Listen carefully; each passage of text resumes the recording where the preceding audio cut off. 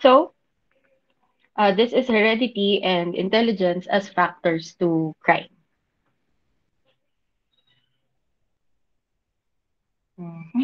Okay, so when we say heredity, ito yung uh, mga namana. Okay, the heredity factors. The common household expressions like it is in the blood and like father, like son are usually heard and said whenever there are several members of the family who are criminals. na ipasa sa'yo. Namana mo yung pagiging kriminal. Uh, the old biblical injunction that the sins of the fathers shall be visited on the sons. Criminologists over the years sought to find evidence to support that nature rather than nurture is more influential in developing criminal tendencies. Ibig sabihin, pag nature, it became natural to you. Naging natural sa'yo yung pagiging kriminal. Kasi nga, pagkapanganak sa'yo, tanggap o na, ano to, nataglay mo na yung katangian na yun, yung pagiging kriminal. In considering biological theories, determinism refers to the view that an individual's criminal lifestyle or actions is the direct result of genetic inheritance or biological predisposition. Um, determinism because you it was already predetermined kung magiging anong klasing tao ka na magiging criminal ka because of your uh, biology, your physical constitution. Soft determinism, as explained by Matza, examines the role of determinism, but also acknowledges that other factors from environmental to choice may be part of the equation. This assumes that behavior is not completely and strictly determined by the individual's genetic or biological makeup. Sinasabi dyan na hindi lang ang physical na katawan mo, hindi lang yung biology mo ang nagde-determine ng behavior o ng, uh, well, yeah, behavior mo. But it also includes the factor na uh, merong environment at meron ding choice ang isang tao.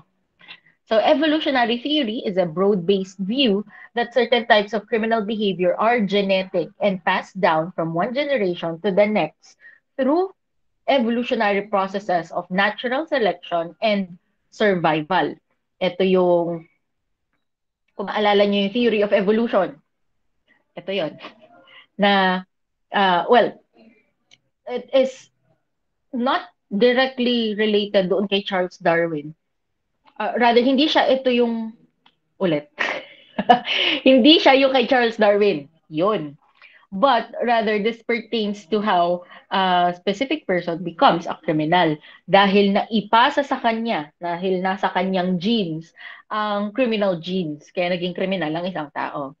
Then we also have that gene-based evolutionary theory, a general approach that suggests that the process of natural selection has resulted in criminal genetic tendencies that are passed down from generation to generation. So basically, halos parehas lang sila uh, evolutionary theory and gene-based evolutionary theory. Okay, pedigree studies. Pag sinabing pedigree, hindi ito yung pagkain ng aso, but this is yung lahi ninyo. Okay, yung pedigree mo, kung ano yung uh, background mo. So these studies cover families or bloodline which may show or demonstrate the claim that criminal behavior can be passed down by generation to generation by bloodline. First, doon sa mga uh, pedigree na yan, ay yung Jukes family tree. This is uh, developed by Richard Dugdale and Arthur S. Tabrook. So, Dugdale uh, is a member of the executive committee of the Prison Association of New York and a colleague of Harris uh, was delegated to visit jails in upstate New York. In a jail in Ulster County, County, he found six members of the same Juk family. Yung Juk, uh, hindi yan totoong pangalan. Okay, pseudonym lang siya. Siyempre, uh, para lang hindi siya ma ma-brand, hindi lang siya makilala agad yung taong to. So, though they were using four different family names. Ibig sabihin, uh, nagkaroon na ng salinlahi Hindi na sila yung direct doon sa Duke, pero magkakamag-anak, magkakadugo sila. On investigation, he found that of 29 male immediate blood relations doon sa uh, pinaka simula nitong family tree na to, si Ada Duke, 17 had been arrested and 15 convicted of crimes. He studied the records of inmates of the 13, 13 county jails in New York State, as well as poorhouses and courts, while researching the New York Hill family's ancestry in an effort to find the basis for their criminality. His book claimed Max, a frontiersman who was a descendant of early Dutch settlers and who was born between 1720 and 1740, had been the ancestor of more than 76 convicted criminals, 18 brothel keepers, 120 prostitutes, over 200 relief recipients, and two cases of feeble-mindedness. Kumbaga, uh, mula dun sa isang tao, ito yung na-produce niya na lahi. Puro delinquents. Kung hindi criminals, delinquents sila. The term feeble-minded was used from the late 19th century in Europe, the United States, and Australasia for disorders later referred to as illnesses or deficiencies of the mind. At the time, mental deficiency encompassed all degrees of educational and social deficiency. Many of the criminals could be linked to Margaret, the mother of criminals, um, again, pseudonym lang ito ah. Margaret ang pangalan, pinangalan sa kanya. Renamed Ada. Kaya nga, Ada Margaret or Margaret Ada Jukes. Yung pangalan, ipinangalan sa kanya. Again, pseudonym lang yon. Pero, that person is considered as the mother of criminals. Hindi naman sinasabi na lahat ng kriminal galing talaga sa kanya. But, na-trace lang talaga dun sa family tree niya na, ayun nga, ay mga madaming prostitutes, madaming may mga murderers, may mga brothel keepers at kung ano-ano pa. Dugdale created detailed genealogical charts and concluded that poverty, disease, and criminality plagued the family. He published his findings in, yung pangalan ng libro, The Jukes, A Study in Crime, Pauperism, Disease, and Heredity in 1877. Dugdale debated the relative contribution of environment and heredity and concluded that the family's poor environment was largely to blame for their behavior. Environment tends to produce habits which may become hereditary. Kung ano daw ang nagiging um, ano to? Ang nasa kapaligiran mo, yun ay nagiging habit and that habit becomes uh, passed on. So nagiging hereditary. He noted that the Jukes were not a single family, but a composite of 42 families, and that only 540 of his 709 subjects were apparently related by blood. Dami pa rin, di ba? 540 ang na-trace niyang magkakadugo uh, mula doon kay Adajuk. He urged public welfare changes and improvements in the environment in order to prevent criminality, poverty, and disease. Writing Public health and infant education are the two legs upon which the general morality of the future must travel. So Estabrook, Estabrook rather, reanalyzed Dugdale's data and updated it to include 2,820 persons, adding 2,111 jukes to the 709 studied by Dugdale. He claimed that the living jukes were costing the public at least $2 million. Ganon ang gastos ng gobyerno doon sa mga uh, descendants ni Ada Duke because of yun nga, poverty, pauperism, uh, dahil criminal sila, and so on. Another family tree is the Kalikak family. Kung si Ada Jukes, puro kriminal ang kanyang mga offspring, ang kanyang naging lahi.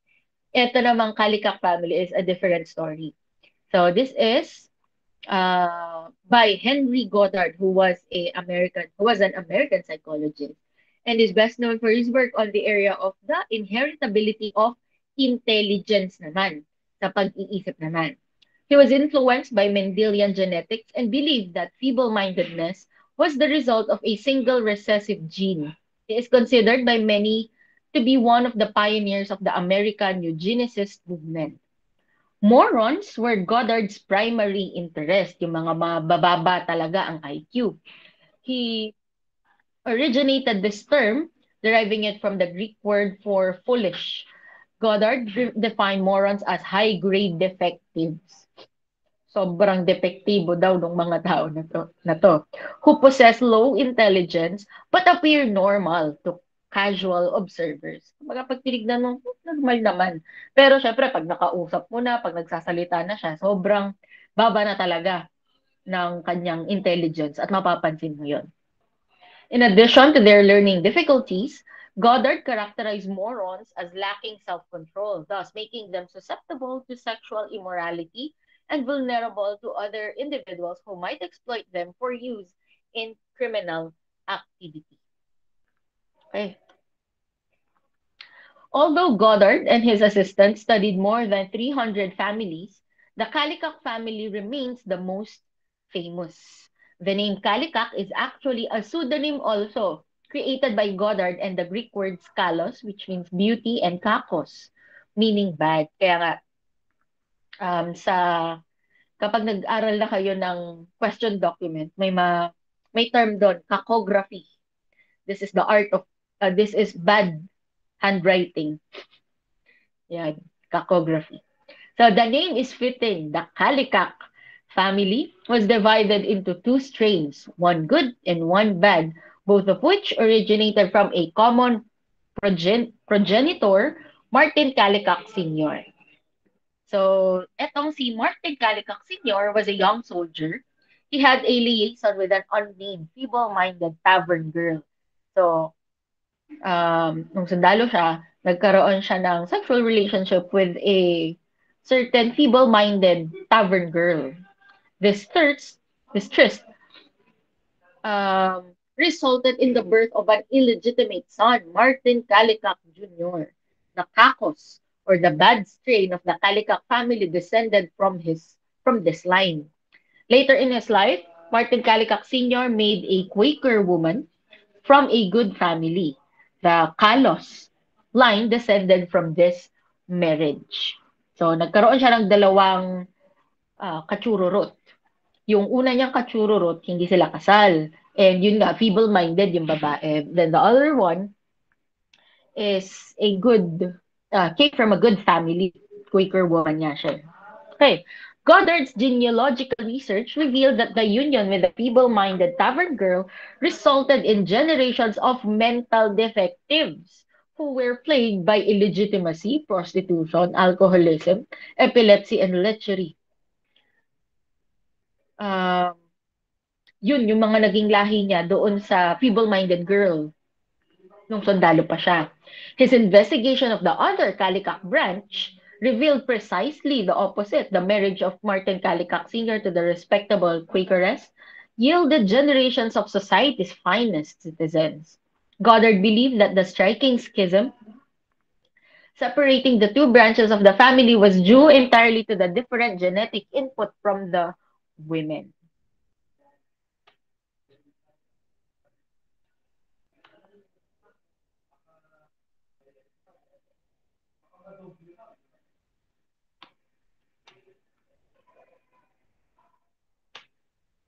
He affirmed that feeble-minded people were multiplying at twice the rate of the general population, thus producing more feeble-minded children with which to clog the wheels of human progress.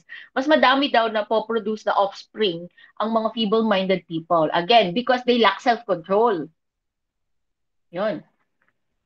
And dahil mas madami sila, mas mas kumbaga napupuno ang society ng mga feeble-minded uh, sabi nga, which clogs the wheels of human progress. Moreover, since feeble-minded people were not able to control themselves, they were the principal cause of many social problems, including crime and illegitimacy.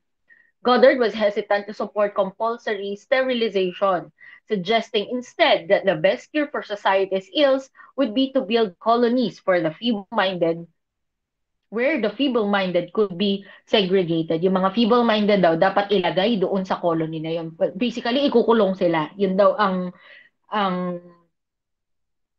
ano to, ang sagot sa tanong. Yun daw ang remedyo sa problem na ito dahil nga mas dumadami daw ang mga feeble-minded. So the height of Goddard's success came at a time when America was experiencing a large influx of immigrants from Europe. The Immigration Restriction Act, passed in 1924, was influenced by American eugenics efforts. In 1913, Goddard was invited to Ellis Island to help detect morons in the immigrant population. In his intelligence classification of immigrants of different nationalities, he asserted that most of the Ellis Island immigrants were mentally deficient. Yung mga nakatira daw sa island na mentally deficient. For example, he indicated that 83% of all Jews tested were feeble-minded. Sobrang dami. As were 80% of the Hungarians, 79% of the Italians, and 80 87% of the Russians. The result was that many immigrants were turned away and sent back to Europe. Okay, then the third and last family dito sa pedigree or genetic study is the Edwards family. Sir Jonathan Edwards was a famous preacher during the colonial period.